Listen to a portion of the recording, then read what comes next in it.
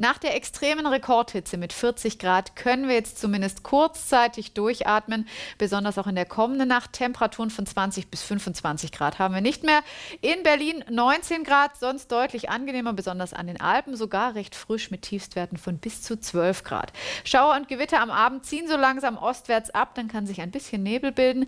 Besonders im Norden bleibt es recht grau und auch immer wieder nass. Und daran ändert sich am Freitag tagsüber nicht allzu viel. Also hier ein paar Regen Regentropfen. Wirklich viel wird es nicht sein. Je weiter wir nach Süden gehen, desto mehr Sonnenschein gibt es. Und dadurch haben wir auch große Temperaturkontraste unter den Regenwolken.